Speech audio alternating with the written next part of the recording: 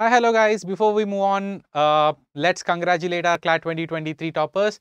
Uh, so here uh, we are here to congratulate AR2 uh, Sahil Gupta, AR37 Pratyush Chaturvedi and AR96 Komal Gadwal. And apart from these three, we had 70 plus NLU admits guys. So 70 plus people from Unacademy reaching out to NLU. So if you want to be one among them, all that you need to do is subscribe to Unacademy CLAT channel and do subscribe to Unacademy platform and attend our plus classes, take mock tests and you will be on the list. And this is not just happened in 2023 season. So we have done it in 2022 as well. So in 2022 we had 45 plus people attending uh, from Unacademy going to NLUs and in 2023 we made it double close to 70 plus people going there. Hi hello guys uh, I'm Kalyan Charan welcome to Unacademy CLAT and today we are going to discuss about factors and multiples. Now in the initial part of our discussion in the previous chapters if you have missed out uh, looking at those chapters please visit the description box in that uh, you get the links of all the previous chapters. Now in previous chapters, we discussed that what is a factor and what is a multiple, right? What is a factor? Factor is a number which perfectly divides a given number. For example, what are factors of 12? Factors of 12 being 1, 2, 3, 4, 6 and 12. We discussed that these are the factors of 12. So, if I call them to be factors, they should divide the given number. If I say they should divide a given number perfectly, what do I mean by that? So, for example, if I divide 12 by 2, so 2, 12 goes 6 times and leaves out a remainder 0. What do you mean by perfect division? Perfect division is a division where your remainder becomes 0 for a quotient which is an integer. So guys, you might know that this is going to be divisor and this is quotient and this is dividend. Now here quickly to see how can I make 12? 12 could be made using 2 into 6 plus 0. So remind, remember a number n could be written as divisor into quotient plus remainder. In any division, this is how any number could be represented as. So, a factor to a number is a number which perfectly divides, perfectly divides as in which leaves a remainder 0 when we are dividing the given number with. Now, if I say A is a factor of B, if I say A is a factor of B, what does this represent? Immediately your mind should think, okay, 2 is a factor of 12. So, 2 is a factor of 12. What does that mean? That means 12 by 2 should give you a quotient which is an integer, right, which is here in this case 6. So, if A is a factor of B, that actually means that B by A should give you an integer result because A perfectly divides B.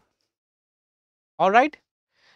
Now, in this scenario, you need to understand 1 will be factor for every number, the number itself will be a factor to every number. So, two factors which are common for any number will be 1 and itself. This is the story about positive factors. Do we have a negative factor? Why not? So, we discussed how do we get two factors is 1 into 12 is 12. So, that is where 1 and 12 being factors. 2 into 6 is 12. 3 into 4 gives you 12. That is how we get positive factors. What happens to the negative factors? Yes, negative factors do exist. So, minus 1 into minus 12 is also 12. So, minus 2 into minus 6 minus 3 into minus 4. So, guys remember when I say factors they are not necessarily be positive factors, they could be negative factors as well. So, remember minus 1, minus 2, minus 3, minus 4, minus 6 and minus 12 are also factors of 12. Alright. Now, until unless I specifically ask you how many positive factors that a number has, then the number of factors include the negative factors as well. Now, come back to uh, the next stage about factors or a replica of factors is nothing but multiples. So, multiples is nothing but a counter uh, to that of factors. If we know that 2 is a factor of 12, then 12 could be called as a multiple to 12. If I say 12, what are the multiples of 12? 12, 24, 36, so on so forth. So, what are multiples? Multiples are nothing but a number multiplied by an integer. What are multiples of a number? Multiples of a number is nothing but the number multiplied by any other integer will make it a multiple of a number. So, remember that the number itself will always be the multiple of a given number. The number itself will always be a multiple to the given number. Now, for example, if I say 36 is a multiple of 12. What do I mean by 36 is a multiple of 12? That means when I divide 36 by 12, I get an integer result. Am I clear? So, in the similar fashion, A is a multiple of B. If I say A is a multiple of B, what does that reference? That refers to A by B should give me an integer. As I said, if A is a factor of B, then B by A should be an integer, which means B is a bigger number. If A is a multiple of B, then A by B should be an integer. Here A is a bigger number. Alright guys, so that's about uh, multiples and uh, factors. Just like factors, even in multiples, the negative multiples exist right. If I say negative multiples exist, what does that refers to? So, what are multiples of 12?